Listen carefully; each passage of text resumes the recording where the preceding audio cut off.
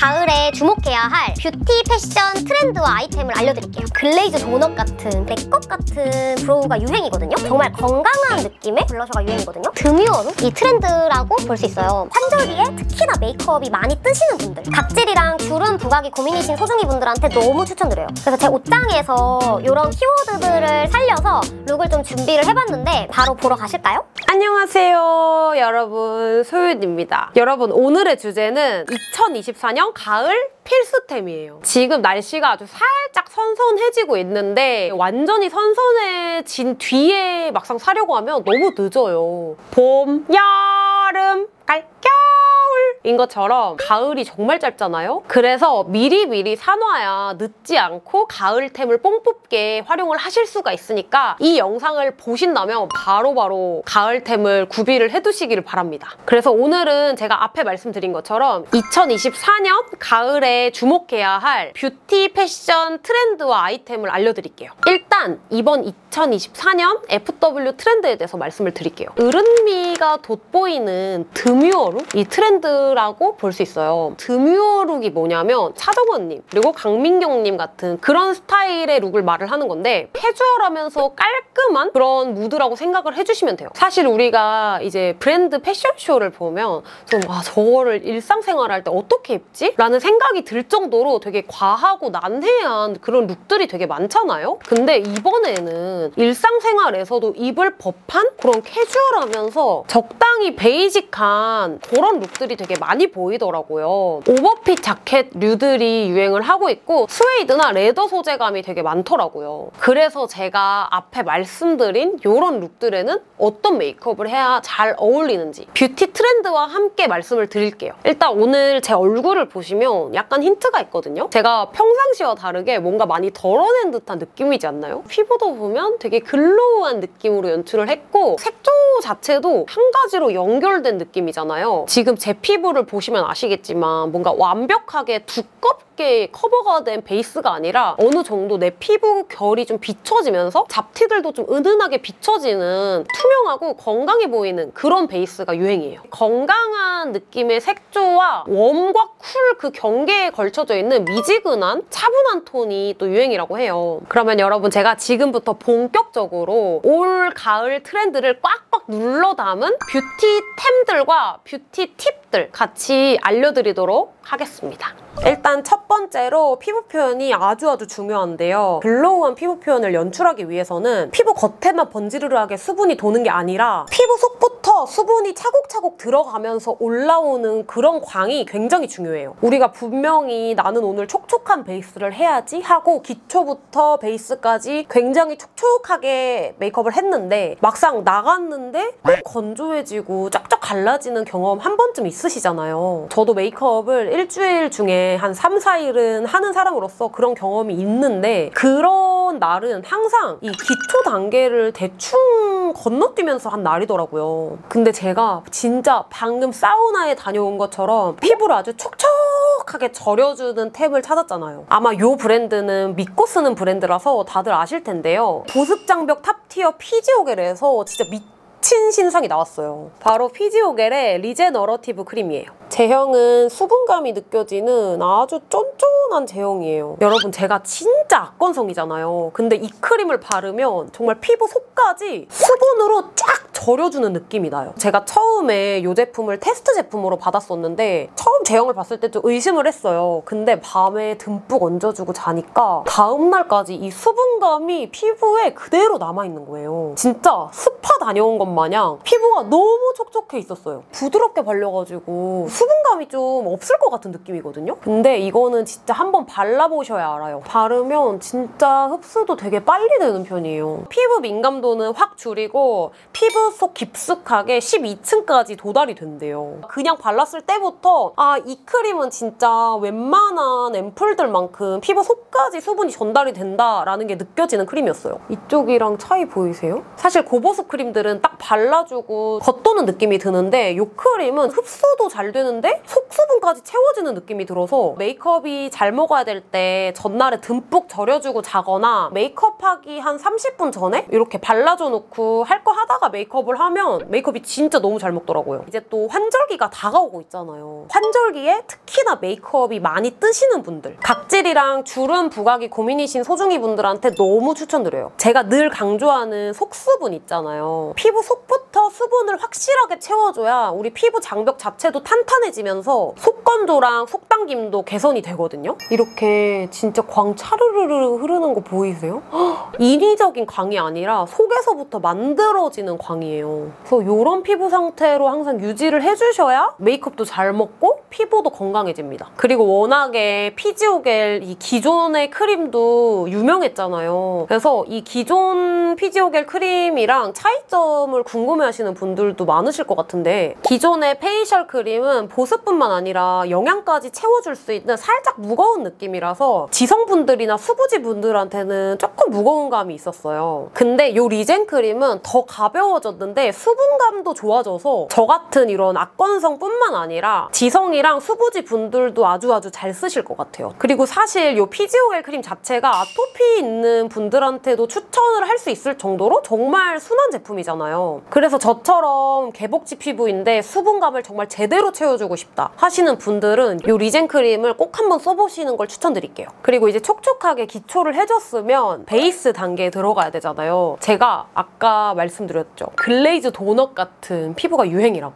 그래서 요즘에 브랜드에서도 되게 촉촉한 glow 타입의 쿠션들이 많이 나오고 있는데 웨이크메이크 쿠션이 되게 괜찮더라고요. 쿠션을 구매를 하면 브러쉬를 같이 주더라고요. 고체 타입 파운데이션처럼 이렇게 생겼어요. 같이 들어있는 브러쉬랑 썼을 때 궁합이 너무 좋더라고요. 이 쿠션에 묻히셔가지고 이 뚜껑에 덜어내주신 후에 피부에 이제 사용을 해주시면 되는데 이렇게 한 번 좀 터치하는 것만으로도 진짜 매끈하게 연출이 되더라고요. 그리고 사실 퍼프로 두드려서 마무리를 해줘야 되는데 이게 결자국이 많이 남는 편이 아니어서 이렇게 살살 쓸어주면 퍼프 없이도 예쁜 피부 연출이 가능해요. 이렇게 한 번만 딱 사용을 해줘도 이렇게 연출이 되고요. 내장된 퍼프로 세게 두드릴 필요 없이 살살 밀착만 시켜주시면 됩니다. 약간 좀 커버가 더 필요하다 하는 부위에 추가적으로 저는 얹어주는 편이에요. 그다음에 퍼프로 두들두들 해주 면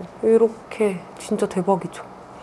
되게 무거운 느낌 없이 정말 얇게 이렇게 잘 발리고 모공 커버가 진짜 잘 돼요. 이렇게 이제 피부 표현 다 완성했고요. 진짜 쿠션 하나만 발라도 이런 쫀쫀한 광 표현을 하실 수 있거든요. 제가 원래 촉촉한 쿠션들을 선호하지 않았던 이유가 촉촉한 쿠션들은 시간이 지나면서 무너졌을 때 되게 지저분하고 안 예쁘게 무너지는데 이 쿠션은 진짜 시간이 지날수록 되게 쫀쫀하게 무너진다고 해야 되나? 정말 지저분하지 않 게 예쁘게 무너져요. 환절기에 특히나 matte한 쿠션에는 손이 잘 안 가게 되잖아요. 그래서 환절기에도 아주 강추드립니다. 그리고 이제 그 다음에는 눈썹이 중요해요. 이번 트렌드는 내추럴한 내 것 같은 brow가 유행이거든요. 붓펜 liner로 한 올 한 올 그린 것 같은 brow를 연출을 해줄 겁니다. 제가 이 liner를 너무 추천드리고 싶은 게 정말 물 탄 듯한 이런 연한 컬러로 발색이 돼요. 정말 내 자연 모와 가장 비슷한 컬러이면서도 인위 적이지 않은 느낌으로 그리실 수가 있어요. 제가 정말 쉽게 할 수 있는 꿀팁들을 정리를 해서 알려드릴게요. 일단 첫 번째로 내 눈썹이 난 결 방향대로 따라가야 되고요. 두 번째로는 너무 다 채우려고 하시면 안 돼요. 이렇게 손에 힘을 진짜 아주 뺀 채로 느슨하게 그려주셔야 돼요. 앞부분은 당연히 위쪽이 좀 얇아지니까 이렇게 밑에서 위로 이렇게 해주고 이 밑부분은 사실 이 뿌리 부분이 너무 두꺼워져 버리면 또 그게 부자연스러울 수 있거든요. 그래서 이 밑 부분은 위에서 아래로 이렇게 빼줄 거예요. 이렇게 좀 얇아지게. 이 중간 쪽에 제가 숱이 좀 몰려 있으니까 이 중간에 맞춰서 숱을 조금 심어주도록 할게요 일단. 이 정도로만 숱을 심어주시고요. 이제 이 다음에 모양을 만들어야 되잖아요. 그리고 또 중요한 게 우리 눈썹이 난 목은 방향을 보면은 이 앞쪽은 밑에서 위로 자라 있고 옆쪽으로 갈수록 이렇게 뾰족하게 만나지는 형태예요. 이 위쪽 콕 형태를 위에서 아래로 이렇게 잡아주시는 형태로 가주셔야 좀 자연스럽게 만나지거든요. 제가 뒤에가 없다 보니까 이 없는 걸 채우려고 하다가 진해질 수 있어요. 그래서 정말 힘을 빼고 이런 식으로 한 가닥씩 그려주셔야 돼요. 좀 빈 부분이 있어도 좀 자연스럽거든요. 조금 부족한 부분이 있다 싶으면 채워주시면 됩니다. 이렇게 그려주시면 뭔가 진짜 내 눈썹 털인 것처럼 연출이 돼요. 그래서 여기 반대쪽도 그려주고 올게요. 그리고 이렇게 눈썹을 다 그려줬으면 그 다음에 좀 중요하게 봐야 될 게 블러셔인데요. 정말 건강한 느낌의 그런 블러셔가 유행이거든요. 되게 자연스러운 컬러들을 활용을 하는데 은은한 컬러감을 쓰면서도 영역은 되게 넓고 확실하게 돋보이는 특징이 있어요. 그래서 저는 이거를 요즘 너무 잘 쓰고 있는데 톤을 딱히 타지 않는 컬러여가지고 딱 가을에 사용하기 너무 좋고요. 진짜 무화과 그 자체 컬러예요. 단독으로 발라도 되게 예쁘고 섞어 발라도 예쁜 그런 블러셔입니다. 보통 cream cheek를 바르실 때 퍼프 같은 거를 많이 활용을 하시는데 어뮤즈 헬시밤은 손으로 발랐을 때가 피부 표현이 되게 쫀쫀하게 예쁘게 되는 것 같더라고요. 이렇게 은은하게 발려요. 눈이랑 shading이랑 뭔가 블러셔, 입술 전부 다 연결감 있게 연출을 하잖아요. 이렇게만 발라도 예쁘고 저는 여기다가 조금 더 영역을 확장해서 밑에 쪽까지 발라줄게요. 멀멀하고 건강해 보이는 이런 컬러감으로 볼 전체를 이렇게 한번 깔아주신 다음에 이걸로 눈 아래 부분에 이렇게 컬러감이 좀 자연스럽게 어우러지면서 볼 부분까지 가져가 줄게요. 광대 부분까지. 예전에는 약간 블러셔를 연지곤지처럼 좀 영역을 좁게 많이 발라줬다면 요즘에는 블러셔 영역 자체가 되게 넓어졌잖아요. 지금처럼 전체적으로 한번 좀 멀멀한 컬러 깔아주고 포인트 컬러로 가로를 딱 깔아주면 좀 자연스러우면서 좀 확실한 그런 블러셔를 이렇게 연출하실 수가 있습니다. 이 두 컬러를 살짝 섞어서 눈 위에도 섀도우로 한번 활용을 해주고요. 그리고 요즘 유행하는 게 전체적인 메이크업 톤을 하나로 좀 통일을 하는 게 유행이거든요. 이런 컬러밤이 멀티밤처럼 이렇게 활용이 되다 보니까 오히려 메이크업 할 때 좀 더 편한 것 같아요. 그 다음에 이 연한 컬러 묻혀서 이 코 옆부분이랑 코 끝부분 이렇게 연결감을 주면 됩니다. 이 shading 영역 따라서 컬러감 주는 방법은 제가 진짜 요즘 많이 하는 방법인데 요즘에 연예인 분들도 다 이렇게 연결감을 진짜 많이 주시더라고요. 그리고 이 포인트 컬러를 발라주실 때는 밑으로 내려가 버리면 얼굴이 좀 처져 보이고 중안부가 되게 길어 보일 수 있거든요. 우리 왜 중안부 짧게 하는 메이크업에서도 코 윗부분으로 가로로 블러셔를 끊어주잖아요. 그래서 그거를 좀 기억하시고 최대한 밑쪽으로 내려오지 않게 영역을 설정해서 발라주시면 더 예쁘게 연출하실 수 있습니다. 그리고 이제 아이 메이크업 을 할 때도 예전에는 약간 라인을 길게 빼서 좀 강조를 했다면 이제 요즘에는 이 라인감을 또렷하게 살리는 것보다 음영감 위주의 아이 메이크업을 해주는 게 유행이에요. 예전에는 이런 좀 진한 톤의 컬러로 아이라인을 그려줬다면 요즘에는 좀 연한 물탄 듯한 컬러감으로 블렌딩 해주는 게 유행이에요. 아이라인을 너무 강조하지 않고 음영 컬러들 위주로 음영감만 주고 마스카라로 속눈썹을 좀 강조해줄 겁니다. 그리고 이제 lip을 해주면 메이크업 마무리가 되는데요. 에스쁘아의 바밍 글로우 피치 라이즈 컬러입니다. 정말 건강한 느낌의 좀 은은하면서 멀멀한 그런 컬러잖아요. 바밍 글로우를 정말 좋아했던 이유 중에 하나가 balm 타입임에도 불구하고 발색이 진짜 잘 된다는 점이랑 정말 은은하게 도는 광택감이 정말 고급스럽거든요. 진짜 올 가을에 이거 하나만 바르면 분위기 여신 될 수 있어요. 보면 진짜 뭔가 인스타 핀터레스트에서 볼 것 같은 그런 lip 연출이 돼요. 이것도 진짜 꿀템인데요. 한쪽은 pot 타입을 퍼서 쓸 수 있는 이 실리콘 브러쉬 또 한쪽은 이렇게 블렌딩을 해줄 수 있는 이런 붓이 내장이 되어 있어요. 그래서 진짜 이거 하나만 가지고 다니면 위생적으로 관리하기도 되게 쉽고 뭐 여행 같은 데 가서도 예쁜 lip을 연출하실 수가 있어서 완전 강추드립니다. 그래서 지금 완성된 이런 룩을 보시면 뭔가 어느 것 하나 튀는 거 없이 되게 조화로운 느낌이잖아요. 그래서 다가올 가을은 clean하면서도 튀지 않고 되게 자연스러운 색조들을 이용한 메이크업이 트렌드가 될 거예요. 그래서 여러분들도 이번 가을 메이크업은 가지고 계시는 색조들로 뭐 lip이랑 cheek랑 다양하게 연결감 있게 연출해보시는 걸 추천드릴게요. 여러분 이렇게 헤어스타일링까지 다 완성하고 왔고요. 여러분들이 정말 정말 많이 기다리고 계실 패션 트렌드로 넘어가 볼 거예요. 이번 가을 패션 트렌드는 딱이 키워드만 생각해 주시면 돼요. leather, power shoulder, 스웨이드, demure look. 소중이 분들이 제가 좀 입는 룩들을 좀 좋아해 주시잖아요. 그래서 제 옷장에서 이런 키워드들을 살려서 룩을 좀 준비를 해봤는데 바로 보러 가실까요? 우선은 첫 번째로 demure look으로 제가 준비를 해봤는데 demure look이 좀 어렵잖아요. 한마디로 설명을 해드리자면 깔끔한 회사원 룩이라고 생각해 주시면 될 것 같아요. 최대한 basic한 아이템들로 코디를 해주되 뭔가 너무 fit되지도 않고 너무 오버스럽지도 않은 그런 fit으로 연출을 해주는 게 포인트입니다. all white 도전하기 힘드신 분들이 되게 많잖아요. 근데 all white look을 좀 스타일리시하게 연출할 수 있는 방법이 있습니다. 좀 브라운 포인트를 주는 건데요. 벨트랑 이런 시계랑 이 가방으로 좀 통일감을 맞춰줬어요. 좀 고급스럽고 캐주얼한 그런 좀 무드가 섞여서 연출이 돼요. 그리고 또 이번 demure look의 트렌드를 제가 좀 찾아봤는데 셔츠 소매를 다 펴지 않고 좀 많이 접은 게 포인트라고 하더라고요.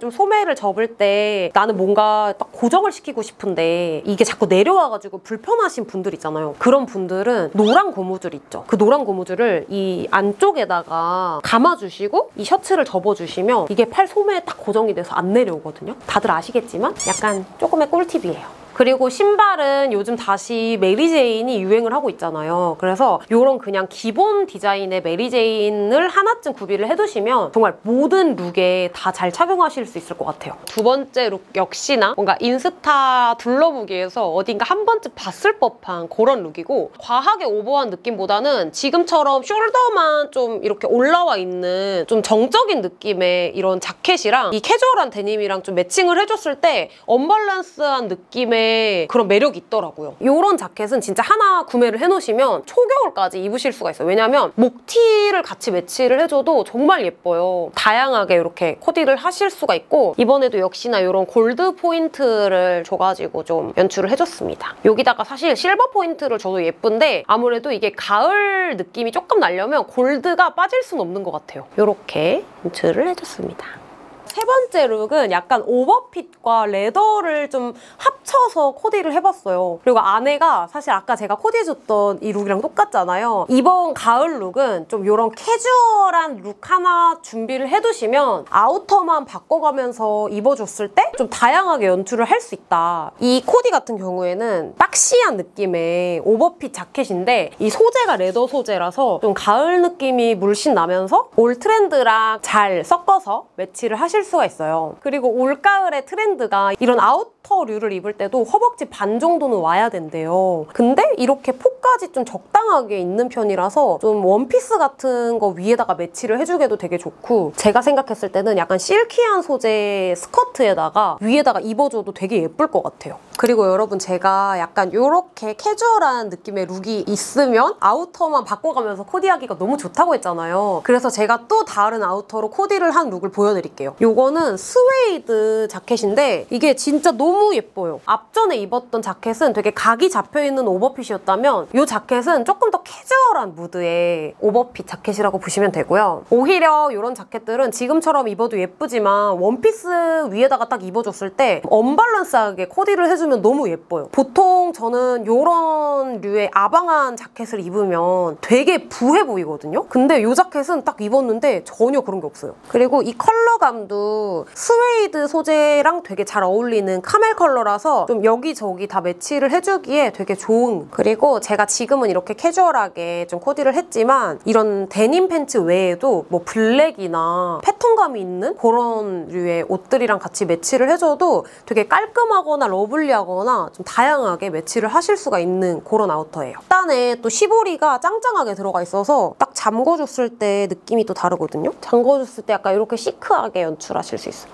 짜잔 여러분 제가 오늘 이렇게 정말 알차게 꽉꽉 눌러 담아서 올 가을 뷰티 트렌드 그리고 패션 트렌드들을 알려드렸는데요. 생각보다 진짜 이렇게 정리를 해놓고 보니까 막 엄청 어려운 건 없더라고요. 이번 가을에 가을 메이크업과 가을 코디를 어떻게 해야 될지 모르겠다 하시는 분들은 이번 영상 보시고 한번 따라해 보시는 걸 추천드릴게요. 그리고 제가 오늘 알려드린 트렌드에서 정말 많은 비중을 차지한 이 쫀쫀한 피부를 만들어주는 피지오겔의 DMT 리젠 크림 이렇게 기획 세트인데 이거를 이제 구매를 하시면 본품에다가 50ml를 추가로 증정을 해주거든요. 근데 여기 보면은 비밀이 있어요. 이건 노출하면 안 된대요. 저만 볼게요. 여기에 변우성님 스티커가 들어있어요. 아니 뭔가 이제 결혼 을 하니까 이렇게 잘생긴 분들을 보면 뭔가 내가 나을 걸 낳고 싶다라는 생각이 자꾸 드네요. 이건 저만 볼게요. 너무 잘생겼잖아. 어쨌든 9월 30일까지 39%나 할인한다고 하니까 관심이 있으셨던 분들 그리고 올 가을 뷰티 트렌드를 쫓아가고 싶으신 분들은 꼭 한번 구경해 보시기를 바랄게요. 다음 영상에서 만나요.